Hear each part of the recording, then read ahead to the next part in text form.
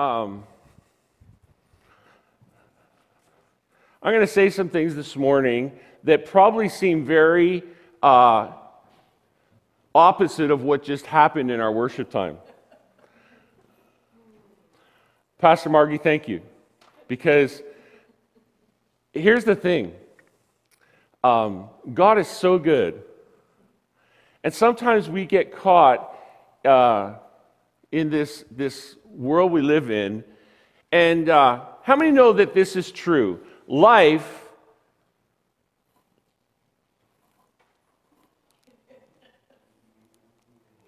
is not fair. How many know that life is not fair? You know, sometimes we, we, you know, we think everything should be fair, everything should be equal, everything should be good, but life is not fair. And, and if you think it is, you need to have a conversation with me because I'd like to know how it's fair.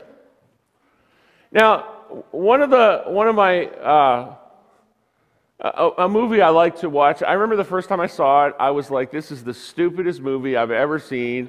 I turned, I, I, I came in halfway through and I never watched the whole movie, and I was just like, this is dumb. And then I watched it again and I watched the whole thing, and I was like, okay, it's not really dumb. And then I've watched it so many times now that I could probably quote a lot of the lines in the movie because it's just so funny. The movie is The Princess Bride. Now, if you've never seen this movie, um, it starts with this kid. He's at home sick in his bed, and his grandfather comes over to read him a story. And he's all upset about his grandfather coming over because he's like, you know, you know, every time he comes, he pinches my cheek. And you know, his grandfather says to him, Hey, I, brought you a gift. And he goes, Well, what is it? And he goes, It's a book. And he goes, A book? Like he brought me a book? And then, and then he says, You know, well, the book is full of great things like there's sword fighting and, and there's romance and there's the giants and there's war. And, and he goes on and all on. And the kid's like, Well, I, I guess so. Well, halfway through the movie, the kid's now into the movie. He's into the story, right? The grandfather's telling the story, and they switch back and forth between this kid in his bed and the story being played out by the actors, The Princess Bride. And about halfway through the movie, there's this, this moment where the kid goes, Wait, wait, wait, Grandpa, that shouldn't happen. That's not the way it should be. Now, his grandfather is played by Peter Falk. and he says, Who said life isn't fair? Or who said life is fair? Right? Because the kid says, But it's not fair. That's not fair. And, and he says, Who says life isn't fair? Right? Who says life is fair? Now, if, if you got kids, you might have said that to your kid once or twice. You know, because they came to you, well, you know, you didn't do that for me, but you did it for them. It's not fair. Well, life isn't fair. And, and sometimes we, we're, we're so quick to want it to be fair. You see, we live in a world that's not fair. And I, I, I'm, I'm bold enough to say that it never will be. Now, you may say, Pastor, like you would really say that? Yeah. I don't think our world will ever be fair. Here's why because we're here. Now, now you may say, well, you know, I, I, I try to be fair. I can guarantee, no matter how fair you are, somebody thinks you're not. You could be the fairest person on the planet, and I guarantee somebody will think you're not. Because life isn't fair. There's a lot of things about life that, that just doesn't make sense.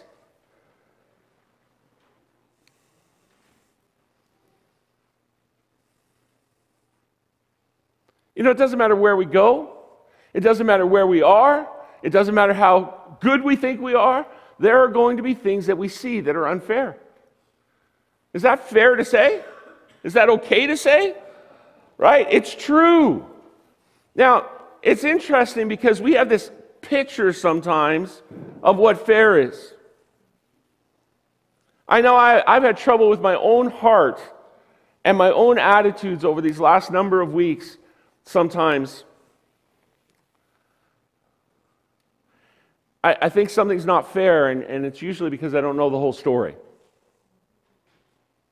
I get part of the story and I think, oh, that's not fair. Like, I can't believe that they did that. Like, I can't believe that happened. I can't believe, you mean your teacher said what? And you may say, Pastor, don't pick on teachers. I'm not picking on anyone. But, you know, there are lots of things that happen that we kind of think isn't fair or isn't right, or, and, and we, we, we assume we know it all.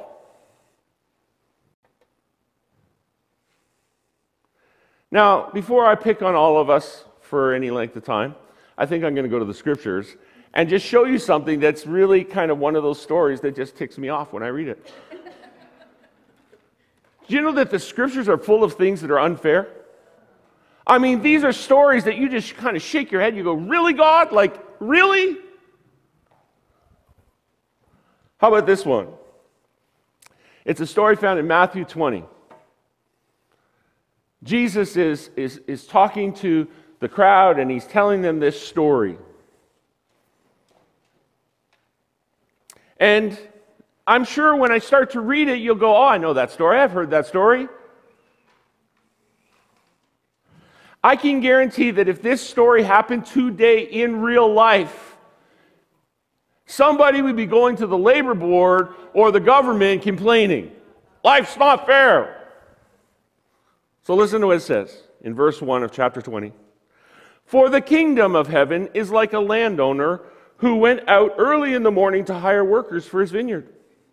He agreed to pay them a, uh, a denarius, about the daily wage for a day at that time. He, he agreed to pay them a, a, a denarius for the day and send them into and sent them into the, his vineyard. About nine in the morning, he went out and saw some others standing in the marketplace doing nothing. He told them, Hey, you also go and work in the vineyard, and I'll pay you whatever is right. So they went. Now, I love this line whatever is right. Hear that line? Whatever is right. So they went. He went out again about noon and about three in the afternoon and did the same thing. About five in the afternoon, he went out and found some still others standing around, and he asked them, Why have you been standing here all day doing nothing? Because no one has hired us, they answered. So he said to them, You also go and work in my vineyard.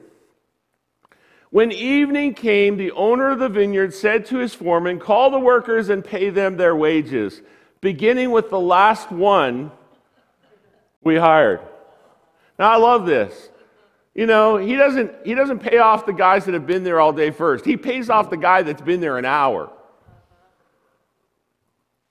The workers were, who were hired about five in the afternoon came in, each received a denarius. So when those who, had, who came, who were hired first, they expected to receive more.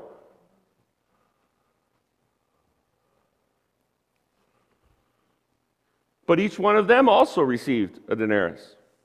When they received it, they began to grumble against the landowner. Those who were hired last worked only one hour, they said, and you have made them equal to us. Who, who have bore the burden of the work in the heat of the day.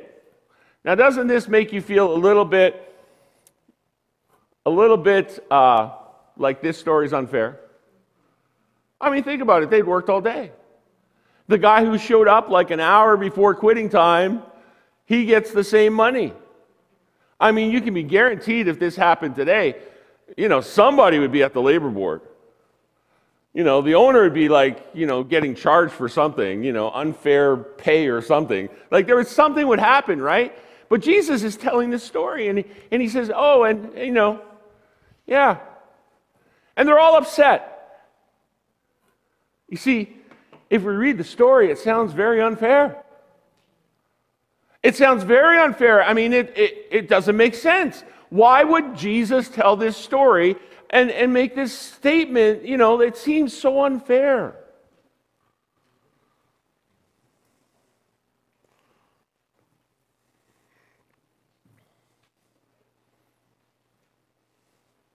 Have you ever been in a situation you felt like you were being treated unfair?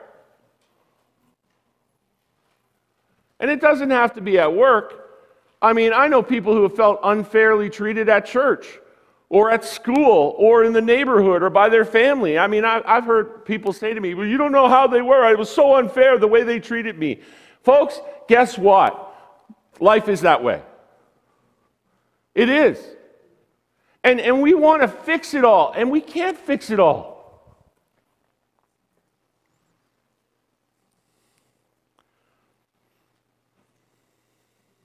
I think if we're honest with ourselves, we've all felt at some point, felt like it was unfair. We were unfairly treated for something.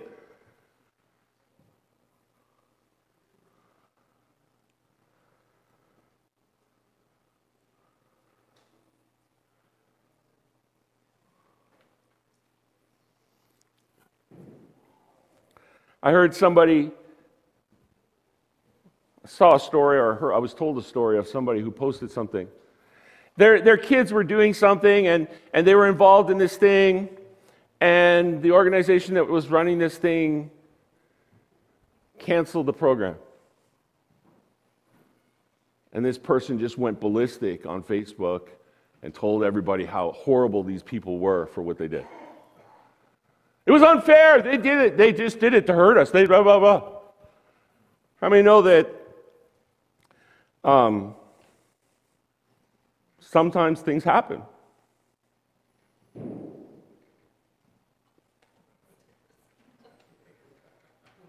It sounds like fun down there.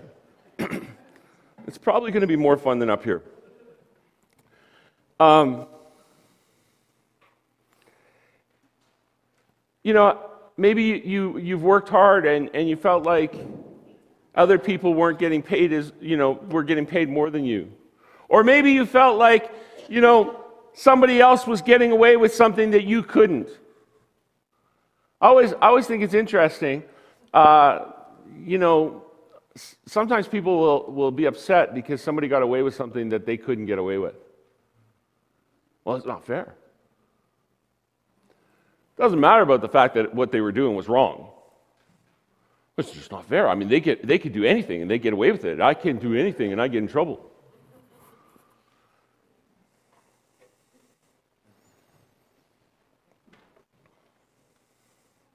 You know, we live in this world where we have the freedom to speak our mind. We just put it out there. Maybe we feel it's right to badmouth an organization for canceling a class our that our kids are attending. We maybe see it un, as unfair or selfish that they canceled it, or we think it's unfair when we do when we do everything well, others sit back and enjoy the benefits of it. We we give and others don't. We can find unfair things everywhere we look if we want to look.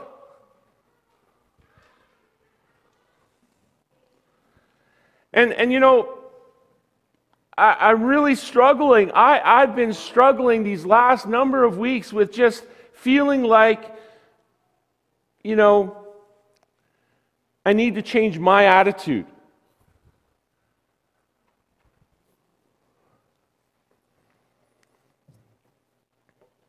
A number of years ago, uh, while I was in Gravenhurst,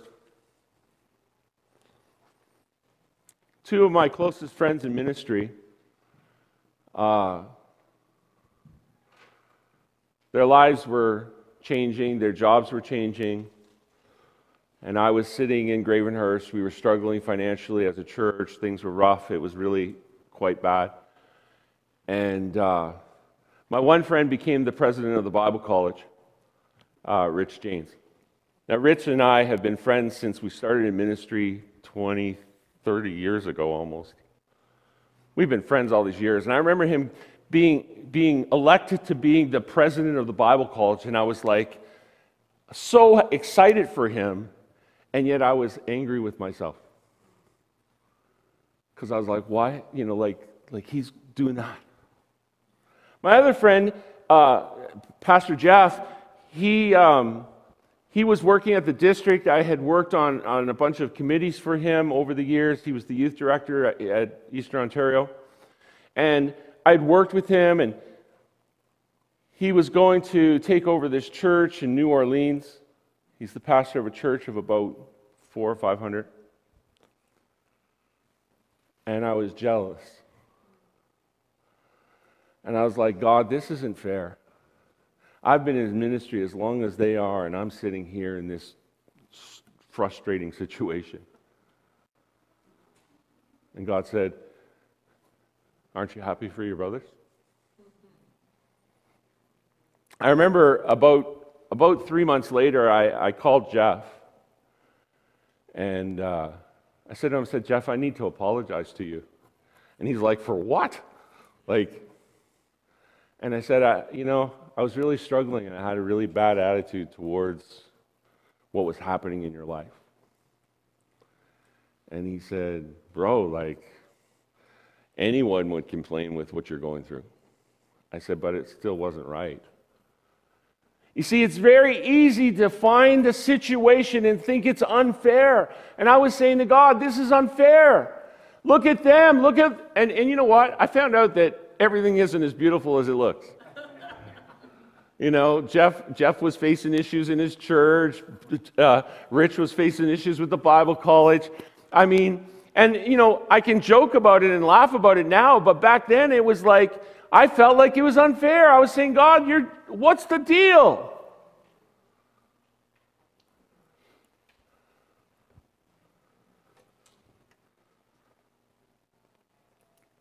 See, I've learned over the years that with every story that you hear, with every thing that somebody says, there's always another side to that story. I've been around long enough to know that, that I don't get the whole story when I talk to one individual. I don't get the whole picture of the story because, because that's their view and that's their side of the story. Now, as a pastor, every time I've had to sit down with a couple who are struggling in their marriage, it always amazes me how divided they can be and how one sided their view can be. Well, you know, if, if he would just clean up the dishes every night, it wouldn't be a problem. And blah, blah, blah, blah, blah, blah, blah. It's all his fault. It's all his fault. And then I'd hear him, oh, you know, you know what she does? I mean, blah, blah, blah. and it's like, whoa. There are two of you in this relationship. It's not one person's fault. And, and you know, that's the problem with, with when we hear a story, we don't get the whole story, we only get part of it. And a lot of times, what happens is we think it's unfair. We look at the situation and we go, oh, it's unfair, it's not right.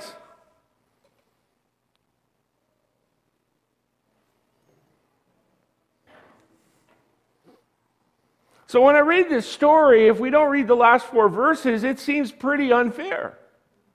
Now, I want you to just consider this. These are the last four verses. But he answered one of them I'm not being unfair to you, friend. Did you agree to work for a denarius? Take your pay and go. If I want to give the one who worked, was hired last, the same as I give you, don't I have the right to do what I want with my own money? Or are you envious because I'm generous? You see, sometimes we look at situations and we're envious of somebody else's situation. We, we get to this place where we're like, well, you know, it's just not fair. I mean, like, I did just as much as they did. And I, you know, I've said those things, so I, I, I don't know if you have. Maybe you're, you guys are better than me, but, but, you know, like, I've said those kind of things. I've said things like, well, you know, it's just not fair. Like, do you know what, you know what I did? And it's not always about money, folks, and it's not always about work. It could be in our family situation. You know, Emily's not up here, so that's good. about, about three weeks ago, she said to us, Tessa, you're not allowed to tell her this. about three weeks ago, she said to us, You know, well, I'm not your favorite child. She, see, she said, You know, dad's favorite is Steph. Mom's favorite is Josh, and I'm nobody's favorite. And I was like, what? So we were having this discussion, and we're like, Emily, like, do you know how much you get away with that they wouldn't have got away with? Like, you, you honestly think that, that we treat them better than we treat you?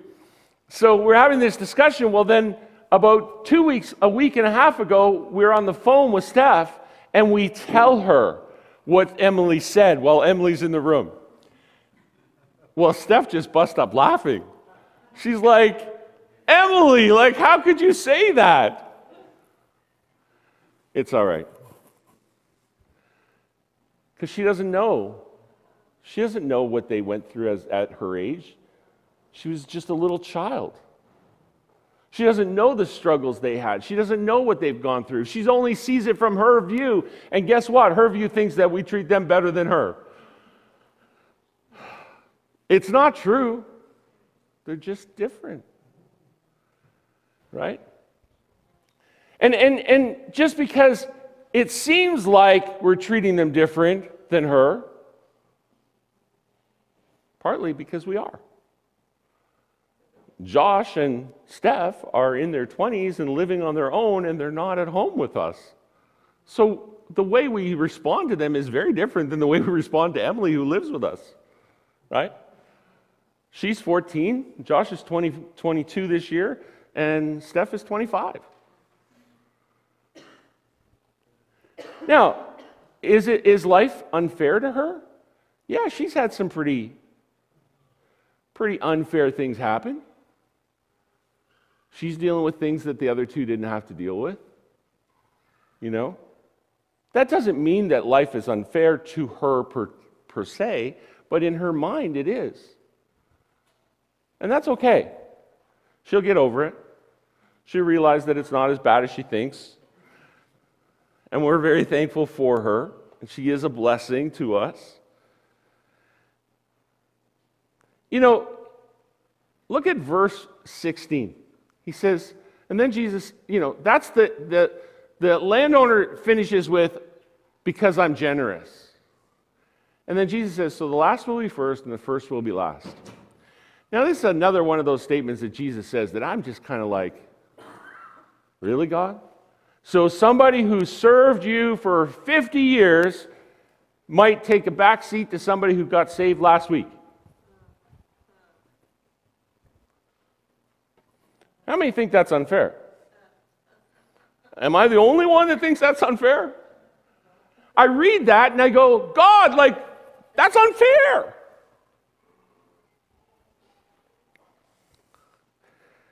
So let's just refresh here. Who's telling the story? Right? It's Jesus. He's telling this story. And he starts the story with this statement. He says, The kingdom of heaven is like. Now I read that and I'm like, okay, so the kingdom of heaven is unfair.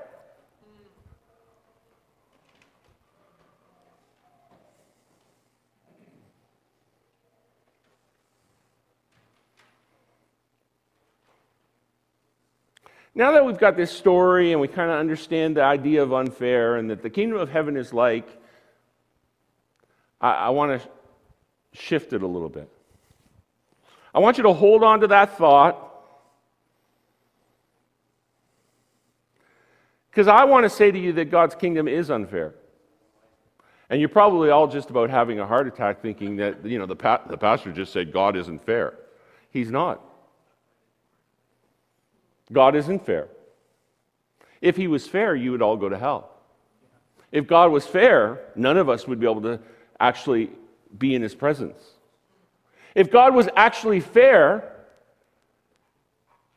he wouldn't have put his son on a cross.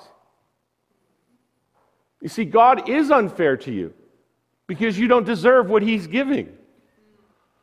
See, there's two words that, that we use a lot, and we talk about it, and, and I don't know if we really grasp just how severe or serious they are. The first one is mercy. You see, mercy is that, that you, you don't get what you deserve. God showed his mercy and he didn't send you to hell. He shows his mercy because of his son.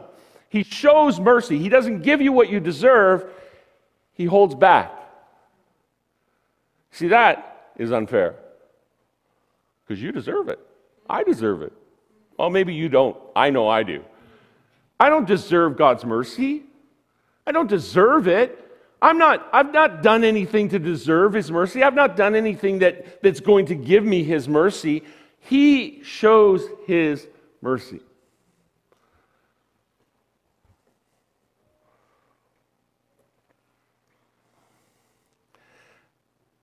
Have you ever considered your expectation, your, your acceptance into the kingdom? Have you ever really considered what God has done? You see, it's easy. Oh, well, you know, God forgave me because of Christ's blood on the cross, and He died and rose again, and, and because of that, I'm saved. But do we really understand what that means? Because God had to show mercy to do that. I mean, it's completely unfair, folks. Let me go a little further.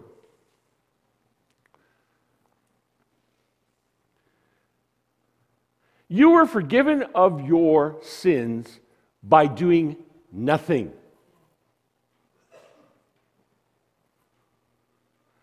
You did nothing to deserve your sins to be forgiven. Nothing. So, those sins that you're still doing, guess what? You can't do anything to fix it other than to accept Jesus' forgiveness. You were welcomed into his kingdom without paying the price. You're called a son or a daughter even though you were on the outside before.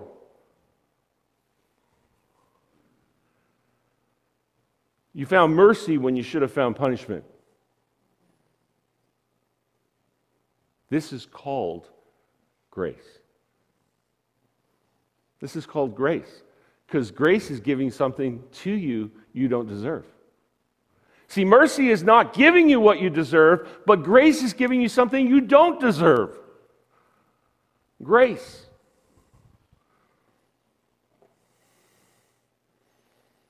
Do you know that the, the grace that God's showing you, the mercy He's showing you, the, the grace that God is, is pushing towards you, is the same grace that He has shown to murderers?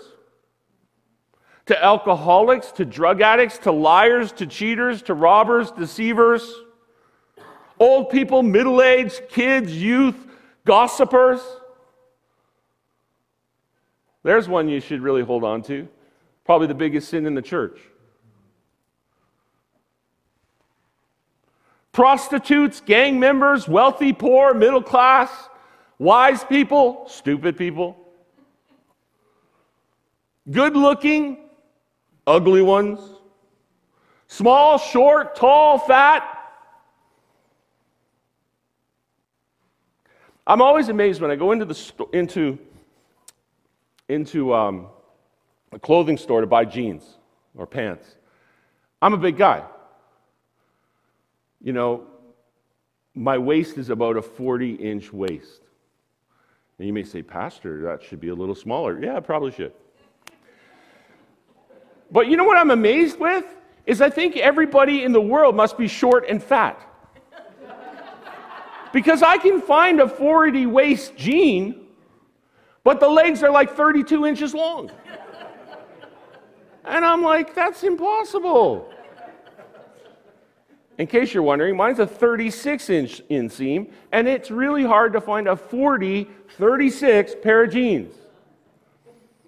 And uh, there was one place I used, I used to be able to buy them at Mark's without any problems. Mark's would actually ship them to my house, like if they didn't have them in stock. But I, I, was, I was always amazed when I go into a store and I see all these pants that are like 32 inches long, but like a 44 waist. And I'm like, is the world fat and short and I just missed something? Like, and I, and I sometimes say, it's unfair. How come somebody that's short can find clothes, but I can't? Tall man's problem, sorry.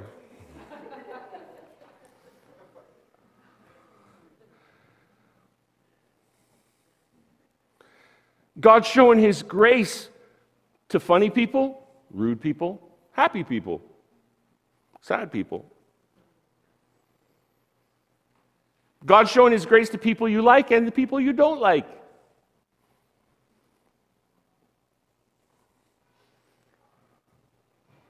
God's showing His grace to brothers and sisters and mothers and fathers, and children. You see, God's chosen to show His grace to everyone, and sometimes we think that's unfair. I mean, think about it. Somebody mistreats you badly, and yet God's still willing to show His grace to them. That seems pretty unfair, folks. You may even think, like, God, what are you thinking?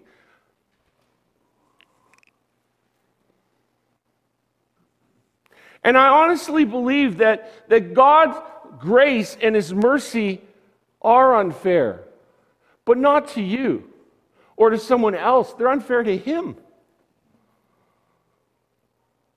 You see, His kingdom is unfair to Him.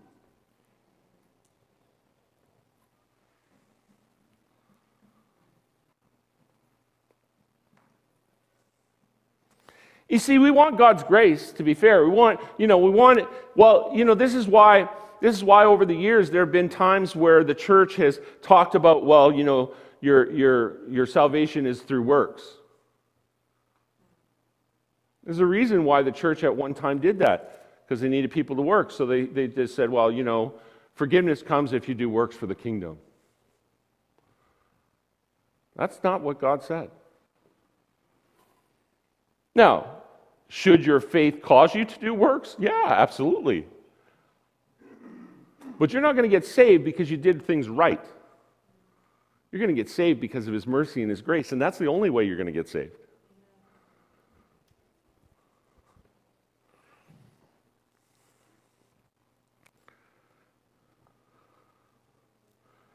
You know, the Bible is full of situations where God's grace is shown and it looks pretty unfair. Hey, read Genesis. There's enough stories in Genesis to make you go, whoa. Jacob the deceiver, Joseph's brothers being forgiven. Just to name a few. If you're here today, it's no coincidence that you're here. You see, God has a plan for you. And part of his plan is to hear about his grace. And you may say, Well, Pastor, I know about his grace. I, I've received his grace. Really? Are your actions showing grace? You see, the scripture is very clear that we've been called to be his ambassador of reconciliation. We've been called to express his kingdom. And the problem is, is most of us can't. Let me rephrase that. None of us can. You see, without the Holy Spirit and without God's interaction in our life, we could never express His kingdom the way He expresses it. Because one of the problems we have is we have a hard time showing mercy and a really hard time showing grace. Because it's all about us.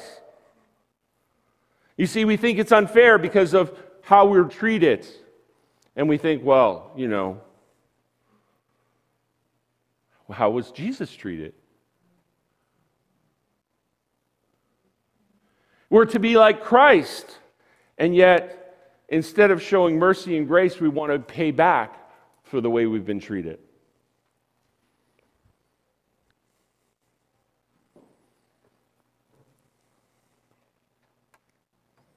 You see, God doesn't only want you to know about grace, He wants you to experience grace. He wants you to be an ambassador of grace. And the sad part is, is that many times we are not ambassadors of grace, we are ambassadors of chaos.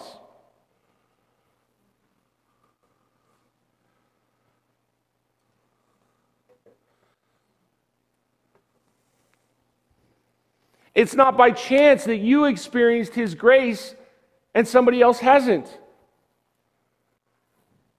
You know, God is fair because He's showing His grace to everyone. Bible is pretty clear that he, it says that he turned all men over to, over to sin so that he might show mercy to all. Do you hear that? God's mercy wasn't just because you, you showed up on the right day and he thought you were a great person. God's mercy was shown to you because he turned us all over to sin so that he could show his mercy to all. We're so quick to judge. We're so quick to condemn. We're so quick to have our opinion about why life isn't fair. And man, we miss what God said.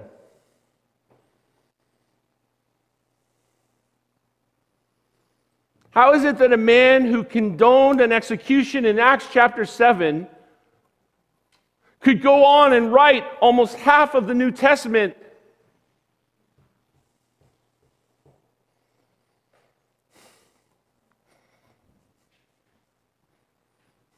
Can you imagine the disciples, how they must have felt like, God, this is unfair? God, what were you thinking? Do you know who he is? In case you don't know who it is, I'm talking about Paul. He sat there and condoned the execution of Stephen. They, the people witnessing it laid their coats in front of, of, of Saul. He was on the road. They laid their coats in front of him while they stoned Stephen, and he condoned it. Tell me the disciples didn't have a problem with that being unfair. How is it that someone that denied Jesus three times in one night gets to preach the word on the day of Pentecost?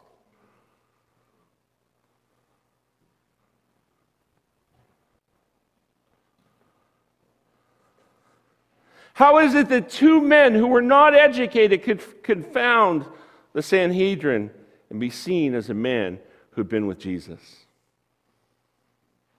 You see, when we look through Scripture, there's so many places where God's grace is shown. His grace is shown to people, and we think, we think that we have a right to say what we say sometimes.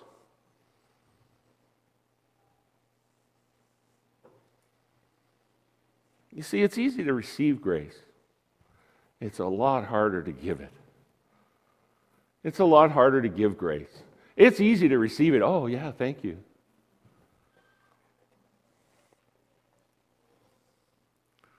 When I was first in ministry back in 1995, 94, 95, there was a youth guy who decided to start an email, uh, a daily email that he would send out to youth workers. So in 1995, he started this. This was like, you know, the infant the, just the start of the internet. I mean, people barely had, inter- had email. I mean, but this guy started this email and he called it Mike's Funnies. And, and Monday to Friday, every week since 1995, he has sent out an email every single day to a bunch of youth pastors and youth leaders and other people now. And he sends it out, and it's usually just a funny little story, make you laugh, and then a thought for the day.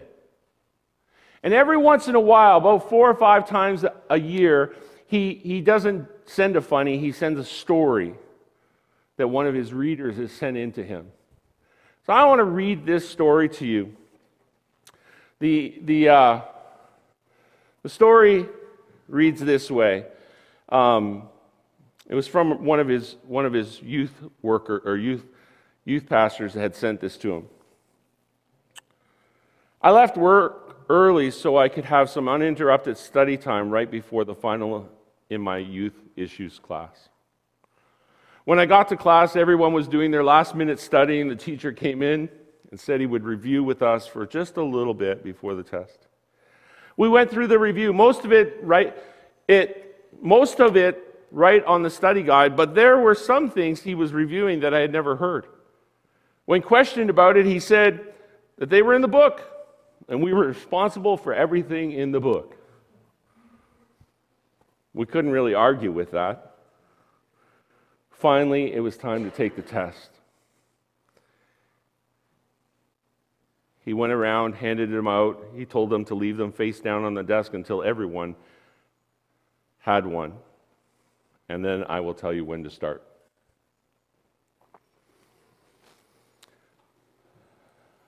When we turned them over, every answer on the test was filled in.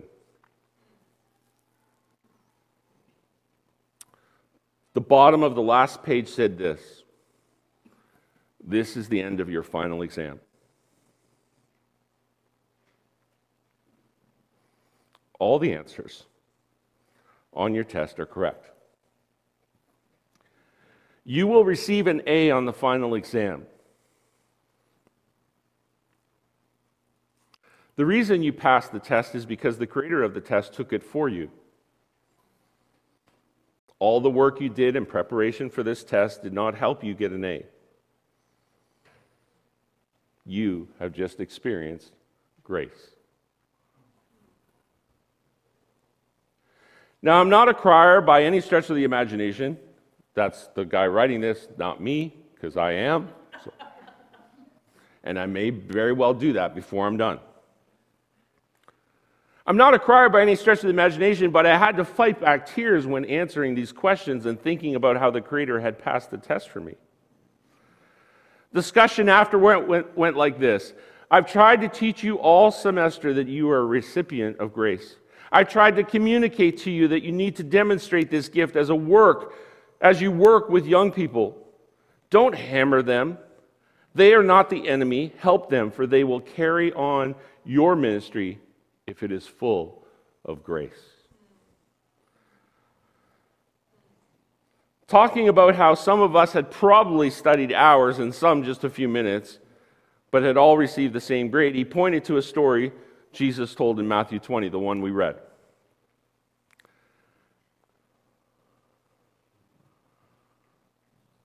The teacher said he had never done this kind of final before and probably would never do it again.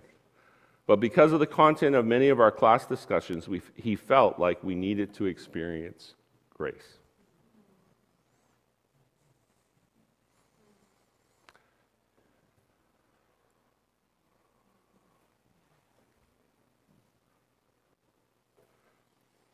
The sad part is, folks, is we've all experienced grace, and yet we don't really see it.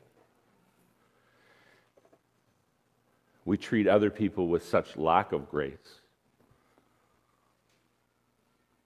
We hurt our own brothers and sisters because we don't know how to show grace.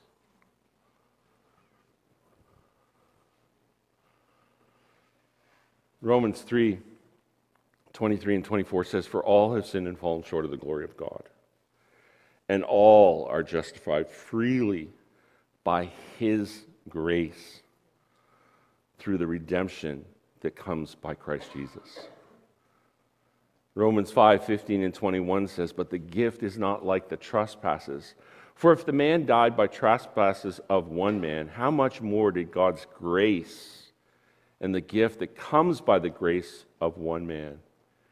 Jesus Christ overflows to the many. Nor can the gift of God be compared with the result of one man's sin. The judgment followed one sin and brought condemnation, but the gift followed many trespasses and brought justification. For if by the trespasses of one man death reigned through that one man, how much more will those who receive God's abundant provision of grace and the gift of righteousness reigning in life through the, the one man, Jesus Christ? Consequently, just as one trespass results in condemnation for all people, so also one righteous act resulted in justification in life for all people. For just as though the disobedient of the one man, the many were made sinners, so also through the obedience of one man, the many will be made righteous. The law was brought in so that the trespasses, the trespasses might increase.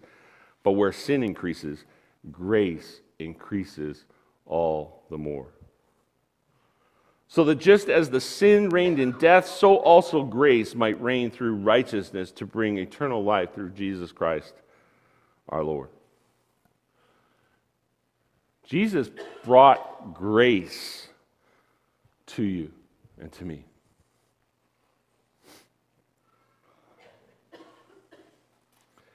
Now, this is a verse that we all have heard, and it's really hard for us to put into practice because we think life is unfair. It's Romans 12:3. It says, "For by the grace given me, I say to every one of you, you ready? Do not think of yourself more highly than you ought." We live in a world that thinks there everybody is amazing. We all think we're all better than we are. We, we pat ourselves on the back so hard that our arms should be hurting sometimes. But Paul says to the Romans, Don't think of yourself more highly than you ought, but rather think of yourself with sober judgment, in accordance with the faith God has distributed to each of you.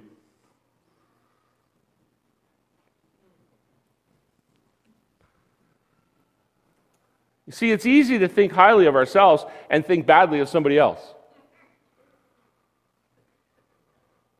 We all do it. If you don't think you've done it, trust me, you've done it. Just the fact that you think you haven't done it tells me you've done it.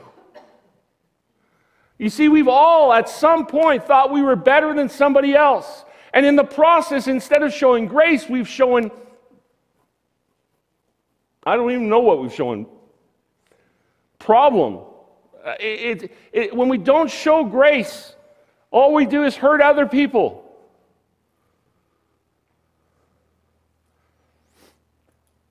There's more. Ephesians 1 7. In him we have redemption through his blood, the forgiveness of sin, in accordance with the riches of God's grace. I, I, you know, sometimes I think we, we, we talk a lot about the blood, we talk a lot about the cross, but we, we don't talk a lot about grace. We, we, we kind of just, oh yeah, God's grace. Yeah, yeah, God's grace. Pastor Margie, thank you. This morning during practice, you actually said that to the worship team. Thank you for your grace towards me because I'm struggling.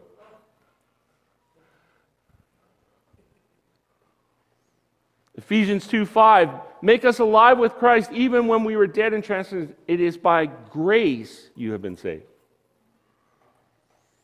Ephesians 2 8, for it is by grace you have been saved through faith, and this is not from yourself, it is a gift of God. Folks, the grace that God has shown you is nothing that you could accomplish on your own. You didn't get it because you did something right. You got it because it's a gift from Him. It's a gift. You know, sometimes we, we, we, want, we want to pick out the gift. We act as if we picked out the gift. We act like sometimes like, you know, well, you know, God gave me grace because that's what I needed. It is. But it's not because you, you did anything to get it. Now, can I just, everybody tuck your toes in because I'm going to step on some. Because they stepped all over mine when I said when I when I was reading these passages. How about this one? Colossians 4 6. Let your conversation be always full of grace. Now, I don't know where you're at. You probably don't have the problem I have, but sometimes my conversation lacks grace.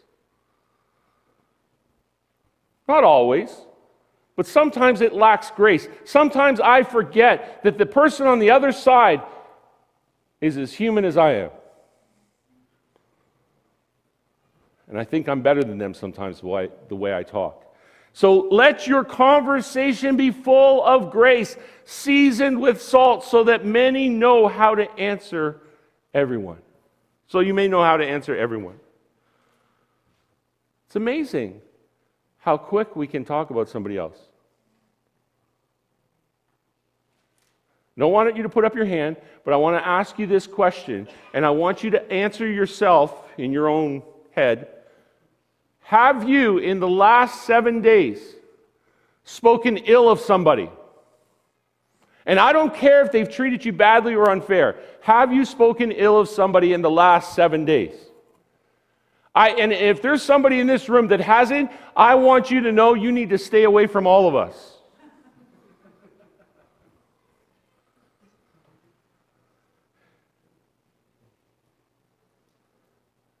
How many, even last week, was like, I wonder if they're ever going to finish that roundabout? Like, what's taking them so long? Why can't they get it done? Come on. Like, winter's going to be here, and then the, the...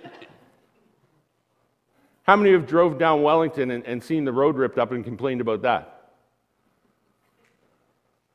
How many's complained about the construction going on right at Sturgeon River Road?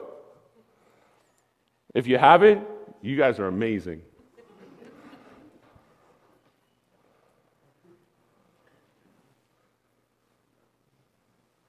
Second Peter 3:18 says, "But grow in the grace and knowledge of our Lord and Savior Jesus Christ."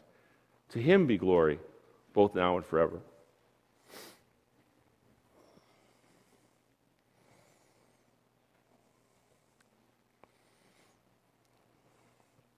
Okay, I'm going to read this very fast. You need to listen very fast. And if not, write it down and, and reread it after, okay? Philippians 2 1 through 18. Therefore, if you have any encouragement from being united with Christ, if any comfort from his love, if, if any common sharing in the Spirit, if any tenderness and compassion, then make my joy complete by being like minded, having the same love, being one in spirit and one mind. Do nothing out of selfish ambition or vain conceit, rather, in humility, value others over yourself. Not looking to your own interest, but each of you to the interest of others in your relationship in your relationships with another, one another have the same mindset as christ who being in the very nature of god did not consider him equality with god something to be used to his own advantage. Rather he made himself nothing by taking the very nature of a servant being made in human likeness and being found in appearance as a man. He humbled himself by being obedient to death even death on the cross Therefore, God exalted him to the highest place and gave him the name, the name above all names, that at the name of Jesus every knee should bow in heaven and on earth and under the earth, and every tongue acknowledge that Jesus Christ is Lord to the glory of God the Father. Do everything without grumbling. Therefore, my dear friends, as you have always obeyed, do only always obeyed not only in my presence, but now much more in my absence. Continue to work out your salvation with fear and trembling, for it is God who works in you to will and to act in order to fulfill his good purpose.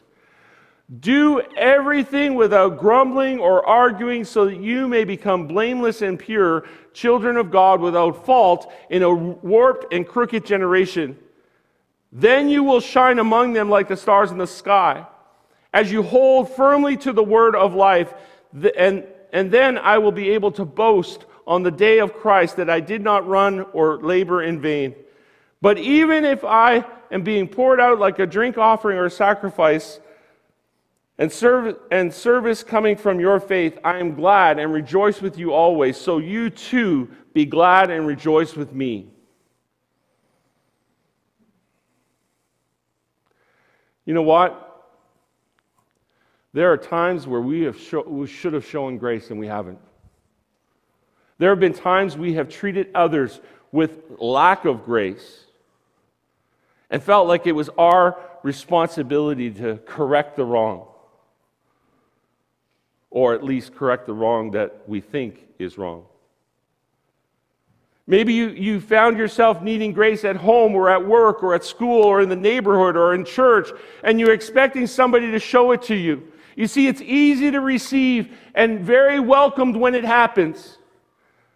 But giving grace is much harder. It's easier to find fault. It's easier to point a finger. It's easier to gossip about the one that maybe needs grace. It's easier to be selfish and not think of others. It's easier to spread a problem than to show grace.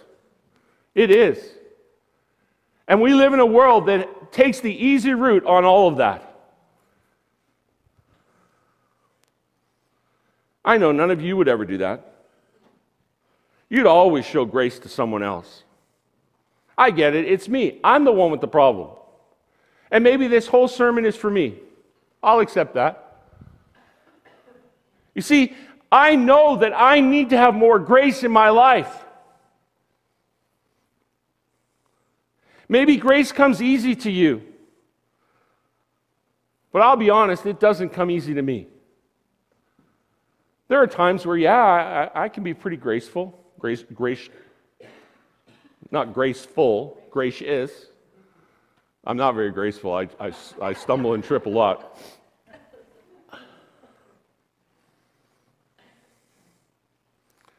But I think, I think we need to come to the place where we practice grace in our lives.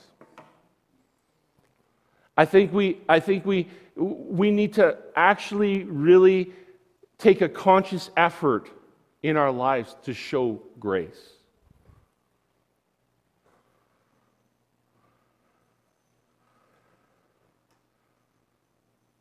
And, and I, I, I got some, some steps for you to consider in your life. And, and I'm going to try my best to put these into practice in my life. So, over the next few weeks or days or months, step one before you say something about a situation, ask yourself Am I showing grace at this moment?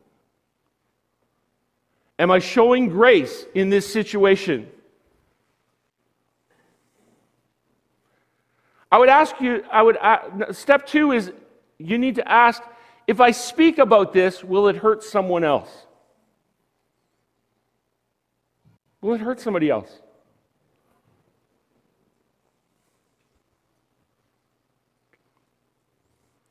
Are my actions operating out of grace or my flesh?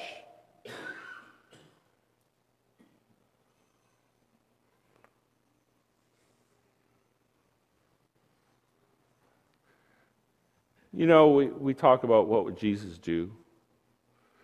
We need to ask ourselves would Jesus be happy with my words and my actions?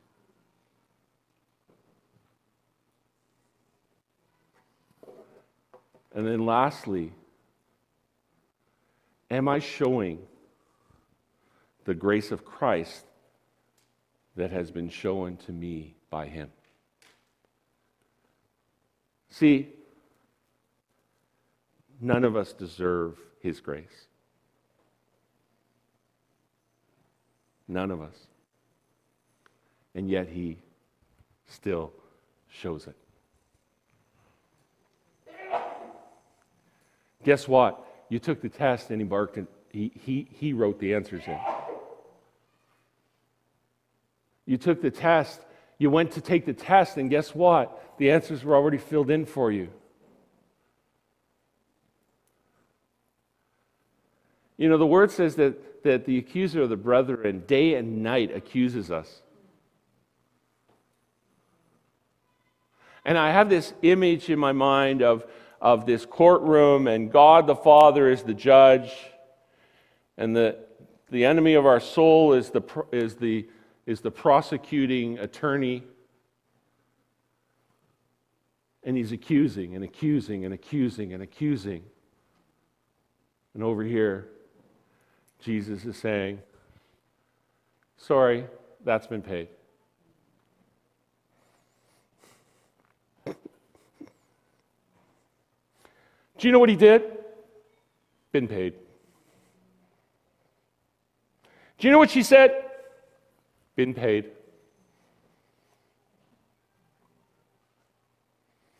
Do you know how stupid they are and what they did? Paid.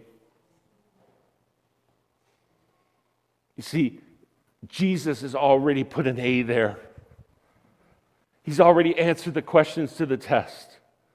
The question is will you walk out His grace in your life? Will you walk it out so that it's not just something that you've received, but it's something that you're giving to others?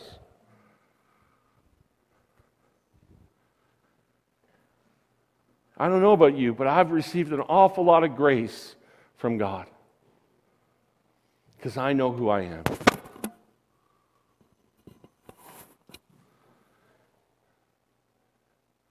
And yet he says, I'm forgiven. He's showing his mercy and his grace.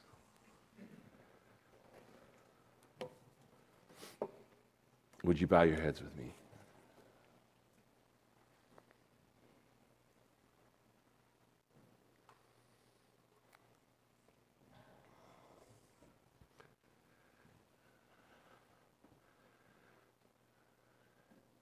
As Pastor Margie said while she was leading this morning,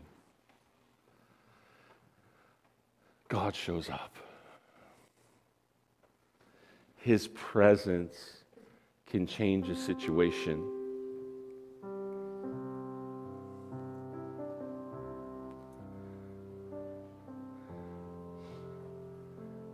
And a lot of times, instead of going to Him, we go to our friend or our neighbor or somebody else And instead of showing mercy and grace, we gossip and, and maybe even do something that we shouldn't do.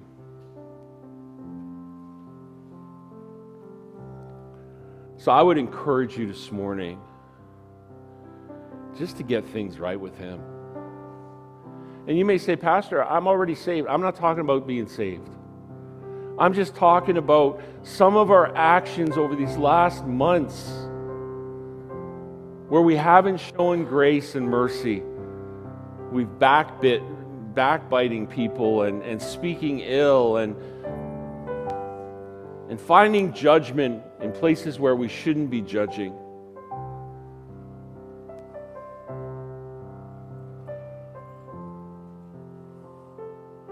And asking God to help us walk out grace in our lives.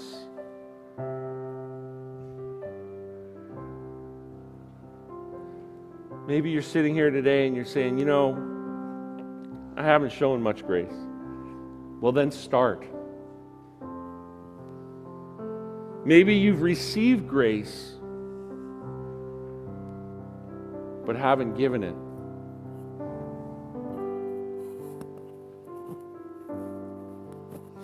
Heavenly Father, I thank you today for each and every person in this room. Lord, I, I recognize that you have shown us grace. Lord, I recognize that you have, you have not only given us mercy and not given us what we deserve, but you've given us grace. You've given us life when we didn't deserve it. So, Father, I pray right now for each of us that, Lord, in those moments when we haven't shown grace, in those moments where we've, we've messed up or, or we've said things we shouldn't have said or we didn't have all the facts, and, and Lord, I pray that you would help us to repent. And not just to you, but Lord, that we would repent to those that we've hurt to those that maybe don't even know what we've done. Maybe we just need to go and ask them to forgive us. Because that's what your grace would do. That's what your grace should cause us to do is to, to reconcile, to come to that place of reconciling with others. So Lord, today as we as we think about the last few weeks and months, as we we, we think about the actions and the things we've said, Lord, may your grace overflow in our lives. And may we start acting with grace to others. Father, I think of, of Lord, those, those things that we say that we just say off the cuff without even thinking about it. It comes out of our mouths and we say we shouldn't have said that, but we did, and it's too late. Lord, before we, we say something, before we post something, before we do something that may hurt someone else, may your spirit arrest us and cause us to recognize that we're not showing grace. And help us to be men and women of grace. Lord, men and women who would show the grace of Christ. For Lord, for much has been forgiven in our lives, may we forgive much as well. Lord, for, for all that's been forgiven in our lives, may we, sh- may we show that kind of grace and mercy to others. Lord, especially to those in our family. May we show mercy and grace. Father, let us not speak ill when we don't know the whole story. Let us not speculate but Lord, let us pray for individuals. Let us show grace and mercy. Let us be more like you and less like us. Father, forgive us. Forgive us for those times when we've done those things. Forgive us, Lord God, for the times we've spoken ill of others. Lord, forgive us for the times we've gossiped and said things we shouldn't have said. Lord, forgive us for the actions that we've done that are not appropriate or right with you. Lord, may we have mercy and grace like you did with your disciples who messed up every day. Lord, Help us to have that kind of grace and mercy. Father, speak to our lives. Help us to be the men and women of God that you called us to be. And Lord, we thank you today. We thank you for your grace. We thank you for the mercy you've shown us. And Father, may we express that to others. We ask these things in Jesus' name. Amen. Don't forget tonight, 6 o'clock. If you're able to help set up, we're going to do that right after the service. But I just encourage you, if you want to spend time and pray here, feel free to do that. Uh, Margie's going to play another song and we're going to worship the Lord. If you need to go, feel free to go. Wednesday night, 6:30, family night. Thank you for showing me grace and mercy this morning and putting up with me. God bless you.